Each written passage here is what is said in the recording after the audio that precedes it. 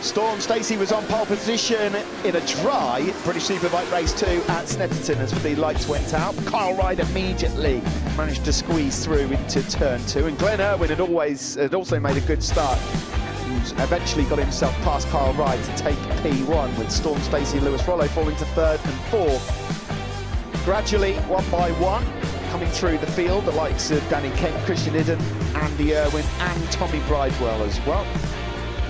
Uh, Further back there, Storm Stacey just managing to get himself back up into third ahead of Ryan Vickers.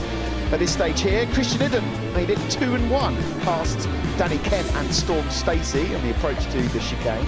Glenn Irwin and Kyle Ryde had built quite a handsome lead out front, but Tommy Bridewell was doing great things. From 16th on the grid, he'd got past a number of riders to move up inside the top three overall. Spots of rain, though, started to fall and then there was a bit of a moment for Louis Valleley. Rider okay, but the bike on fire. Ultimately, it was red flag and restarted another five-lap dash in BSB.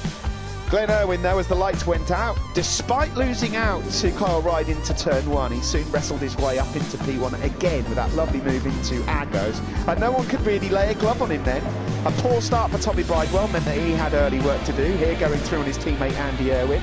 He then made the move on Christian Iddon to move up into the top three overall, and it wasn't long before Kyle Ryde was next on his radar, down into Murray's. They could not reel in the eventual race winner, though.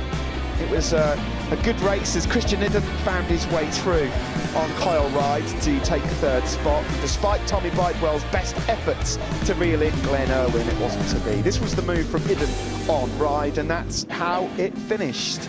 As the checkered flag went out for a five-lap dash, Glenn Irwin was back to winning ways ahead of his old foe, Tommy Bridewell, with Christian Iddon in third.